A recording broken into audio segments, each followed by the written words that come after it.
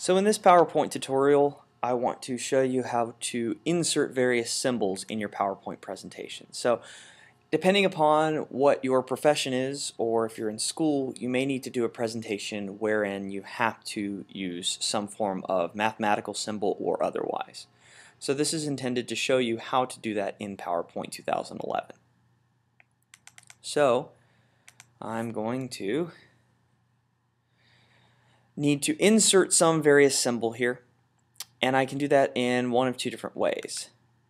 I can either choose it from the insert menu okay in my PowerPoint menu at the top here just come down to symbol and click symbol but also notice when this window pops up it seems to have activated this tab here which is for the media browser and this is where you can insert movies, audio, photos, anything you need.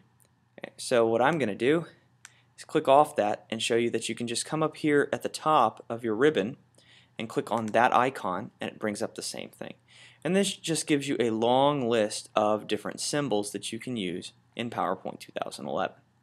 So all you have to do then is choose the symbol you want and if you've got a text box open